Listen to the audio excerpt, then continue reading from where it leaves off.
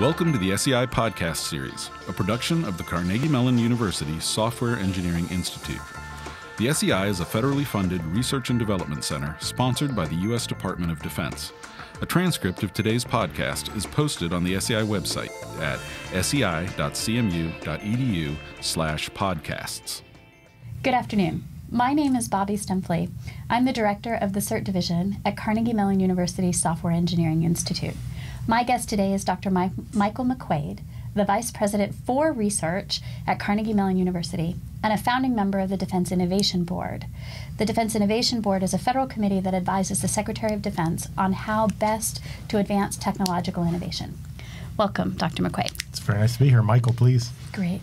I uh, I found it to be really interesting um, this uh, this moment in time, and I thought it was a great opportunity for us to talk about security and resilience.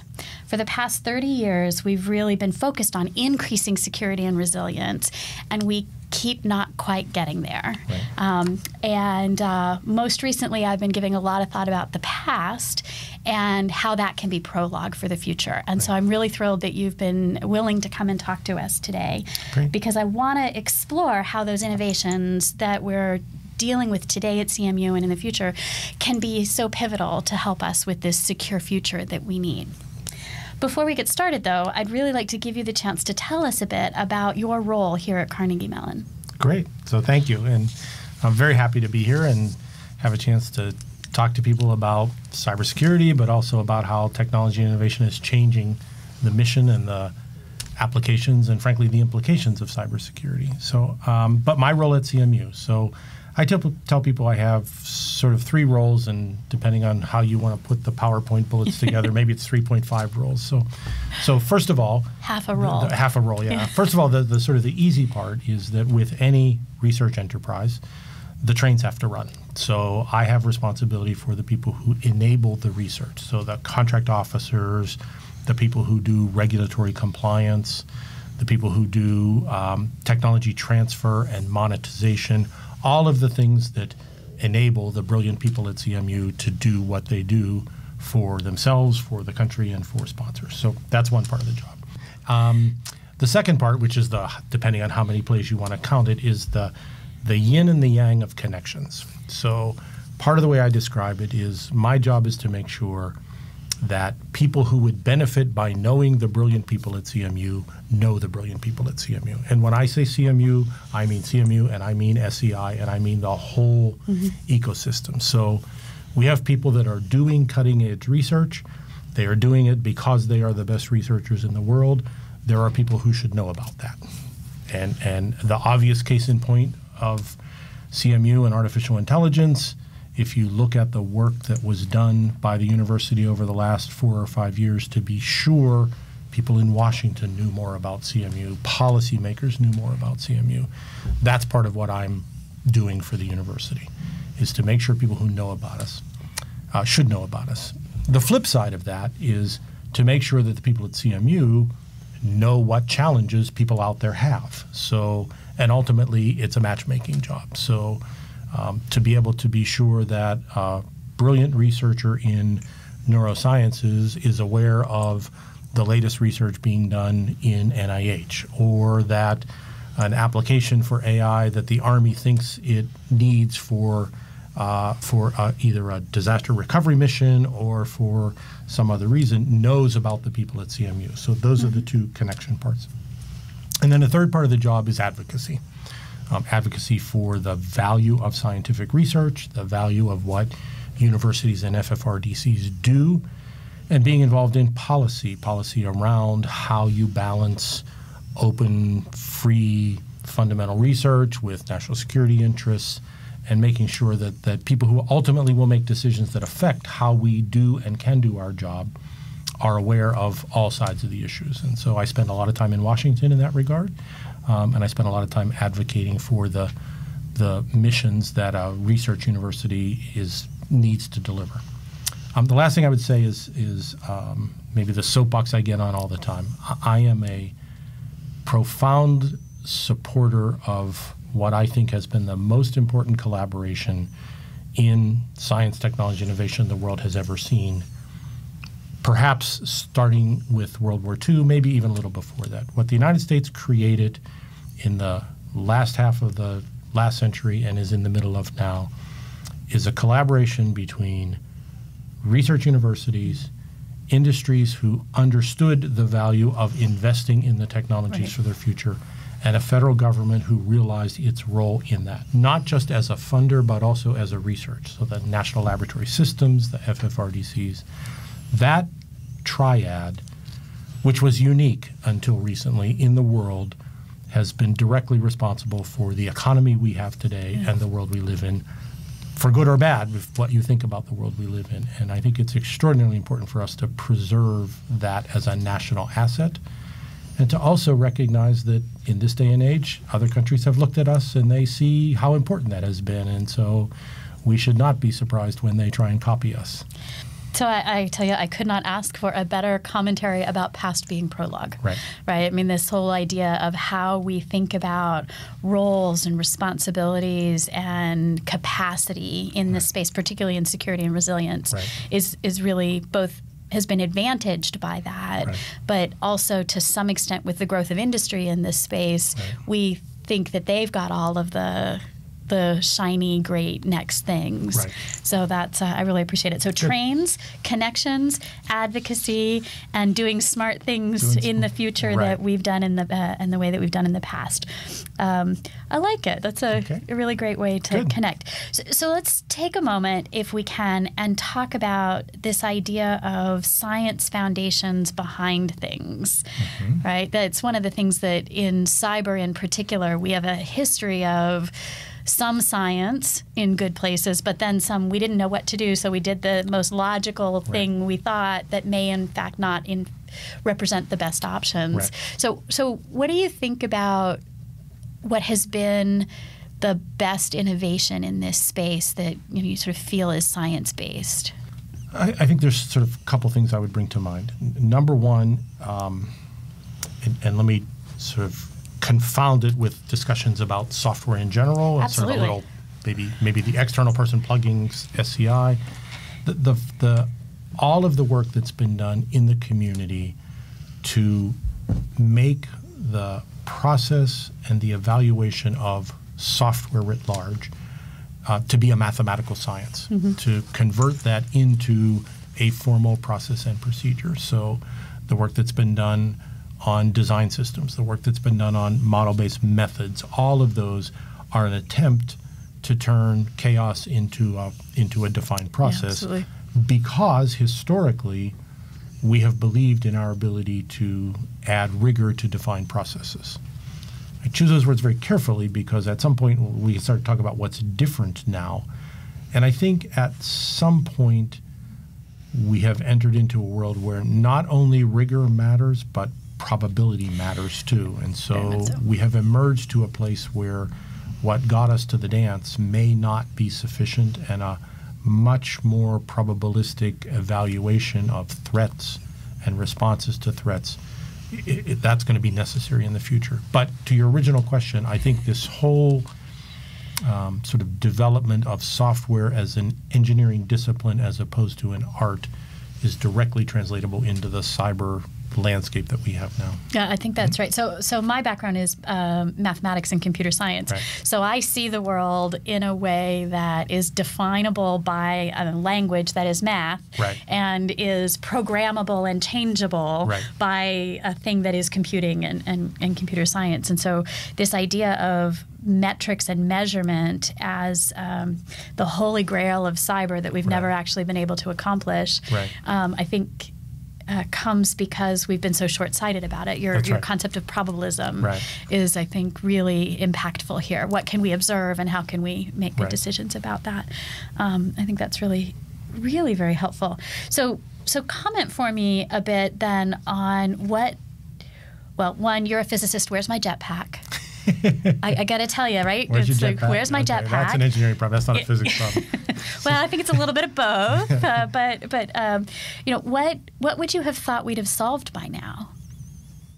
You know, I was thinking about this the other day. Um, th- there are things that I am shocked at how far we have progressed versus anything I would have thought. Um, I think.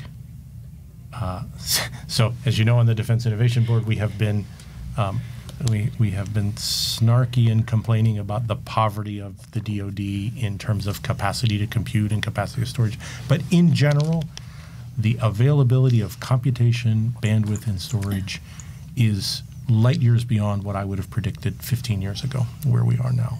Um, I think the democratization of software mm-hmm. as something people do is much further along than I ever thought we can talk in a little bit about what some of the implications yeah. of that are.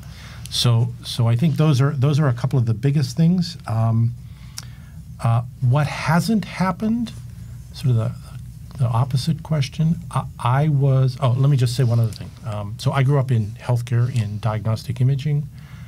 I would never have predicted the progress we have made in display quality mm-hmm. and the ability to diagnose from soft media. I mean, just if I mean, first of all, the hoops we all jumped through 20 years ago to even move data around and present it to a radiologist. Yeah.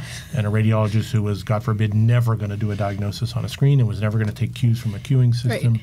I, I, am actually quite surprised at how rapidly that situation changed. Um, and I would argue, another theme we can come back to, this whole issue on the implications of dual use in driving technology Absolutely. and the security implications from it. So. Um, so what has not changed, or what has not progressed as fast yeah. as I thought? Um, I would have thought we would have solved the assured identity and uh, individual ownership of cybersecurity as a as a discipline long before now. Hmm. Um, I think we have made progress, but I think there's a there's much more progress that needs to be made.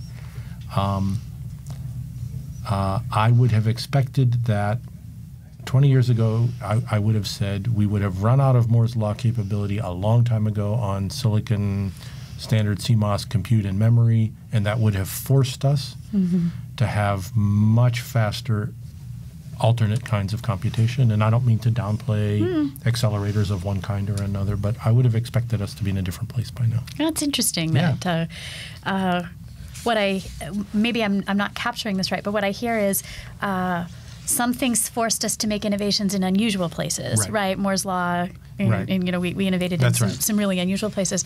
The other one, I, I, if I can uh, pivot from your identity and uh, and an individual security question a bit. Um, to me, that strikes me to be a, a real example of uh, the nexus between technical solutions and innovations and adoption and policy um, activities as well, right? right? Because there's a, uh, and, and, I think right. that ties us into this dual use That's issue right. really interestingly. We no, we seem to fight this all the time. We we know what the right technical answer is. Is it really the best answer for the situation? So, so talk to me a little bit about. Let's explore this idea of, of uh, dual use here in, in the way you characterized it. Yeah, I think I think so. I come to this discussion uh, both from a national security discussion and from a from a, what the department, for example, mm-hmm. should be doing. And as you know, we did this sort of big software study around yep. software acquisition. And so historically, uh, our national security position uh, layered on top of brilliant people who do amazing things with dedication and you don't win wars by having an army that doesn't have soldiers who go out in the field right. and do so. So take that all as a given, and the fact that I'm not going to focus on that doesn't downplay right. that, right? But we have also, uh, and people use this term, um, uh, offsets. We, we have had major strategic overmatch capability. Um, we could outspend right. out technology people on nuclear weapons under Bill Perry's leadership and a bunch of really smart people, we outspent and out engineered and out invented people around stealth. And the right. dual use changes the landscape because many of the technologies that are important for competitiveness in a modern environment directly depend on what the commercial sector also wants. So while it is very clear that the national security mission has exquisite imaging applications, it is also clear that many of the imaging technologies that are used for the commercial sector have direct application.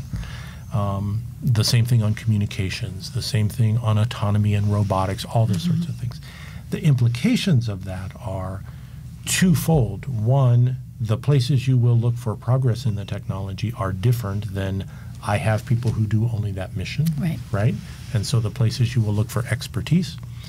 Um, the other implication is that you have to be very careful about thinking through uh, restrictions you place on technologies. So while it is very obvious that we don't want a lot of people running around with nuclear detonators, it's also easy to say there really isn't a commercial market for nuclear weapons, so you're not going to hurt anybody by restricting nuclear detonators.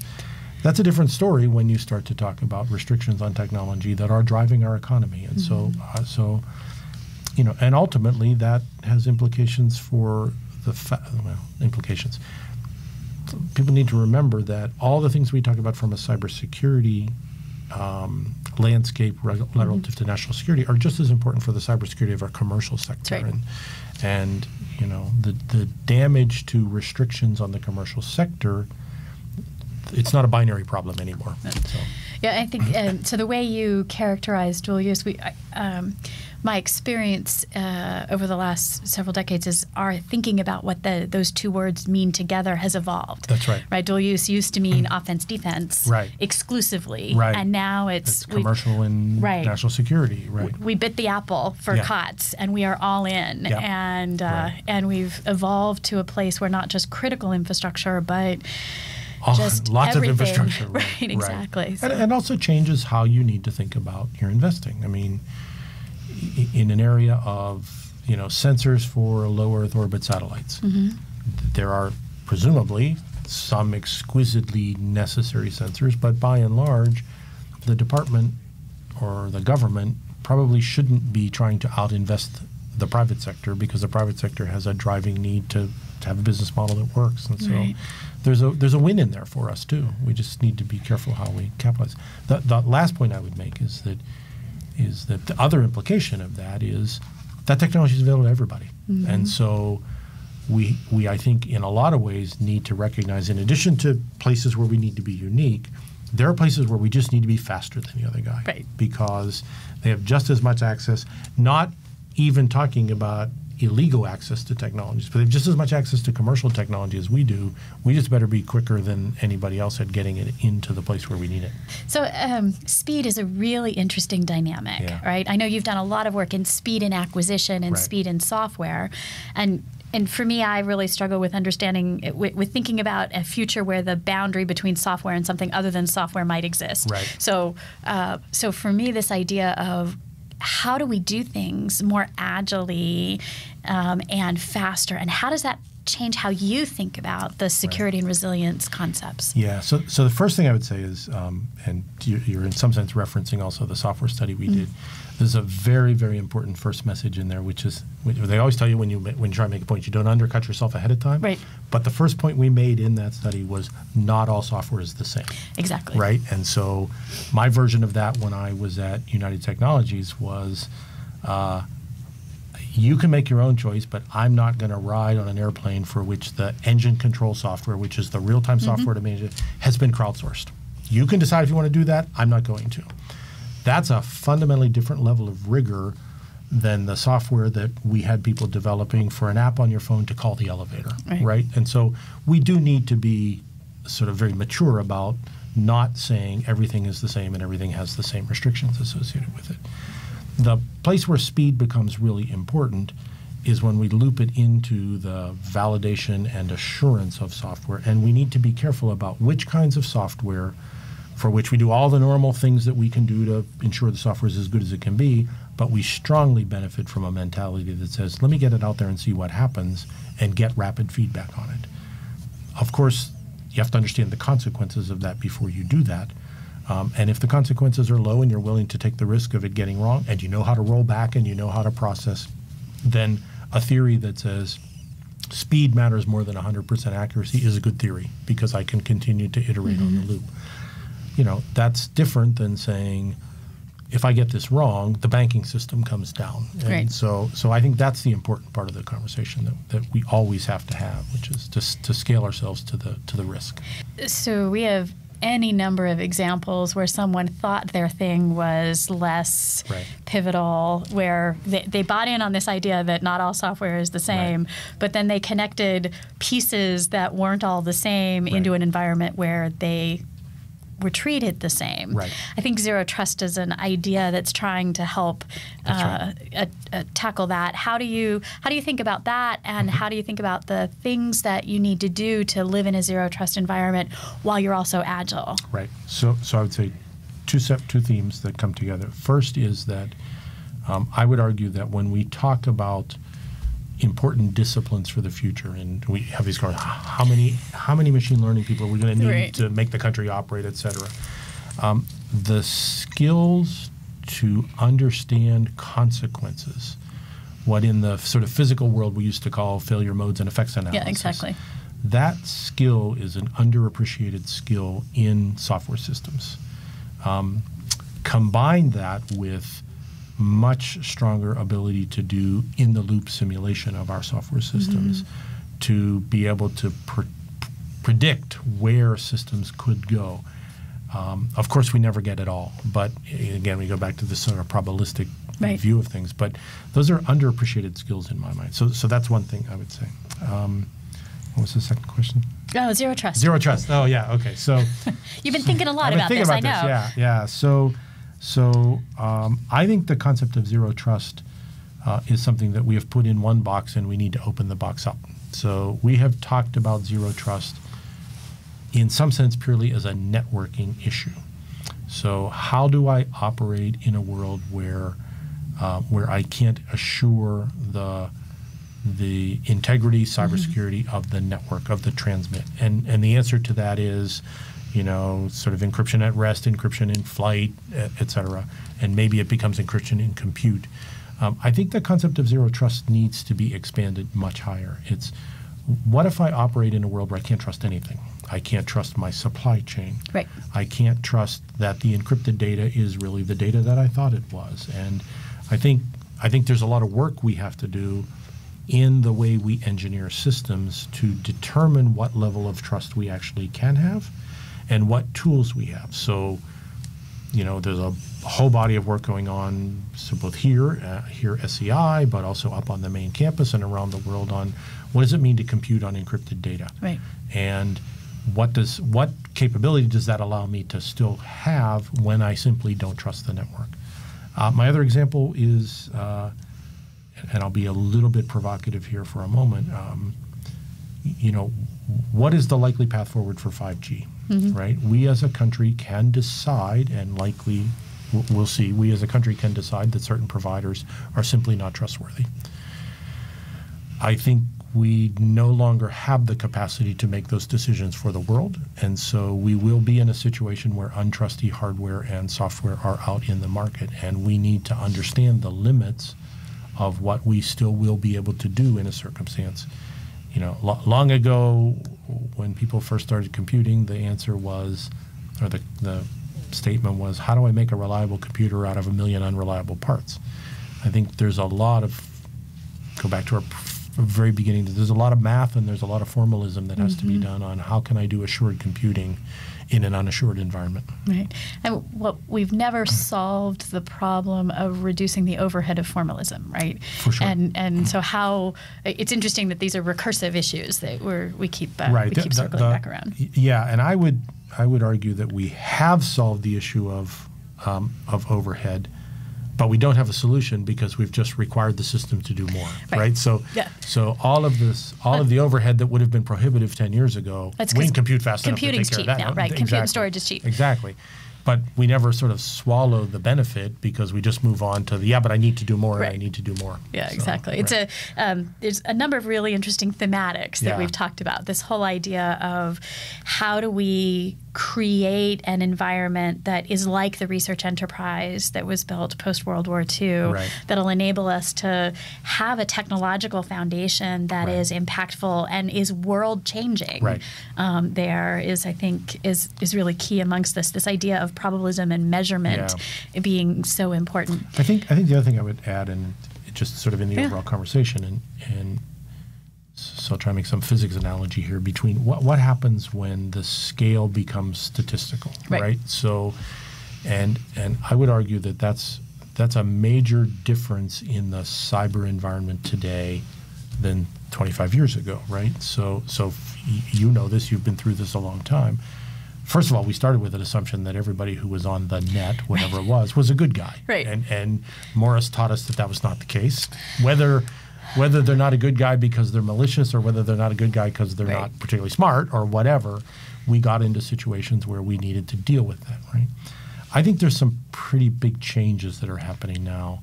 Um, one brought about by the sort of democratization of software, just the sheer volume of how much stuff we need to look at and be assured is okay. And if you project forward with what the Defense Innovation Board is trying to argue for, that's only going to get to a bigger problem because you know the more stuff that can be automated, the more stuff that's software and as my friend Milo always says, you know, an F-35 is really just a physical way to deliver software effects, right? So I mean, that's the world we live in these days.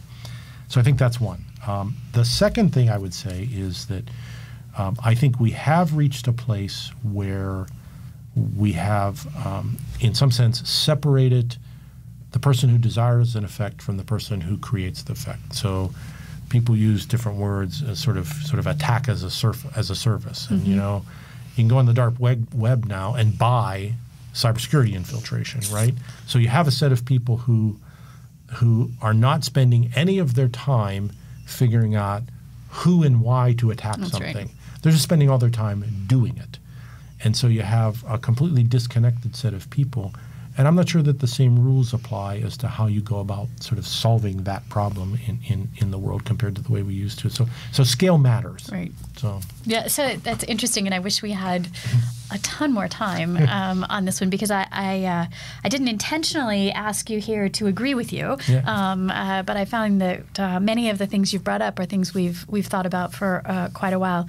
I think about um, a world where we're moving into robotics and where CMU has been so impactful in the artificial intelligence space, Right. uh, not just the machine learning and neural network space, but Right. artificial intelligence more broadly.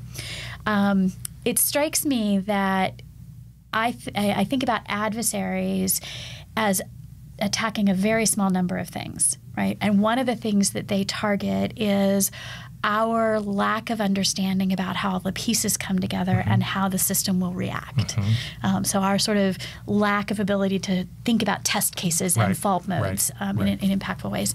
And when we add the kind of speed and non-determinism that comes out of this Right. robotic and AI fueled world we're branching into, um, it really changes the way you have to think about security and Right, resilience. right. Um, and so I don't know if you've given any of that thought. Yeah, I, a little bit, and I would I would just sort of maybe just to continue to riff on it. I think the other, you know, let's sort of be blunt. The world we live in today, it, it is often the case that that creating an effect is less damaging than creating uncertainty. Right. Right. That's And- exactly and, right.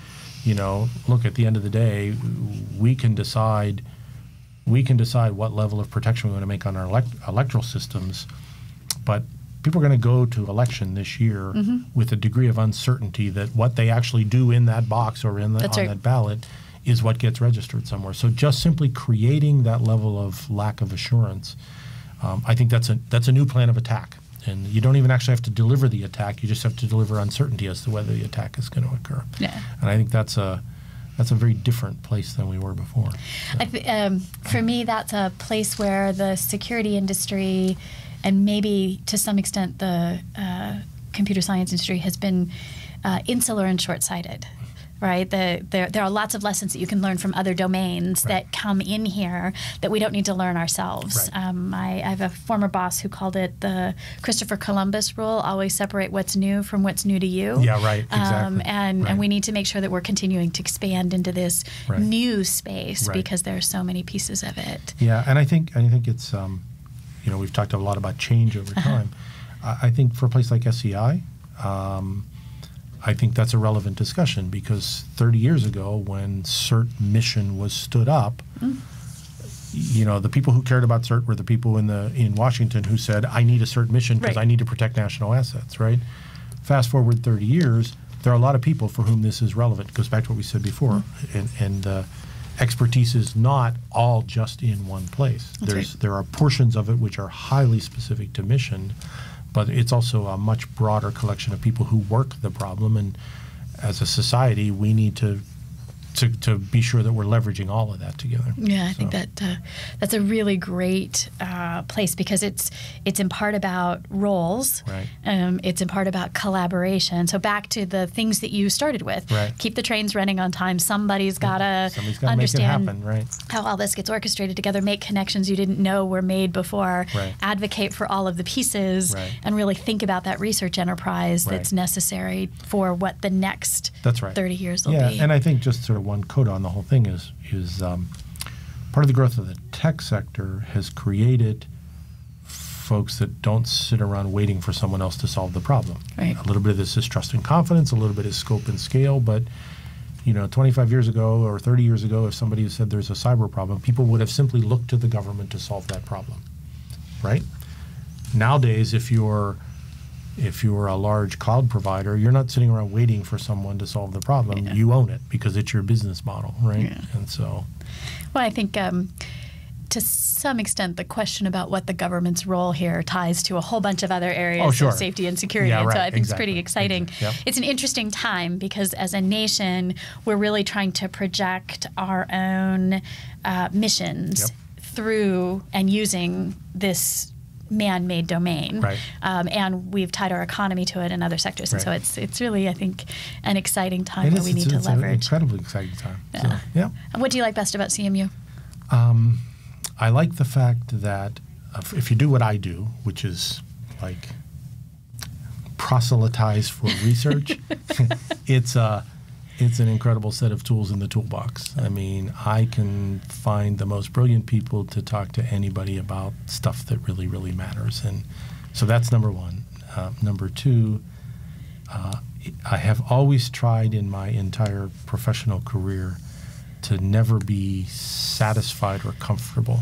And one of the things I love the most about CMU is every day I find something that I didn't even think about before. And it could be a crazy idea, it could be a brilliant idea. Sometimes it's both of those at, the, same, time. But just the ability for me to randomly run into people and say, Tell me what you're working on, and get blown away by it. That's the best part of CMU. Oh, great. Yeah. Thank you so much for Oh, coming and talking Thank to you. me today. I really appreciate it. It's been really good. Thank you. Yeah. Thanks for joining us. This episode is available where you download podcasts, including SoundCloud, Stitcher, TuneIn Radio, Google Podcasts, and Apple Podcasts. It is also available on the SEI website at sei.cmu.edu slash podcasts and the SEI's YouTube channel. This copyrighted work is made available through the Software Engineering Institute, a federally funded research and development center sponsored by the U.S. Department of Defense. For more information about the SEI and this work, please visit www.sei.cmu.edu. As always, if you have any questions, please don't hesitate to email us at info at sei.cmu.edu. Thank you.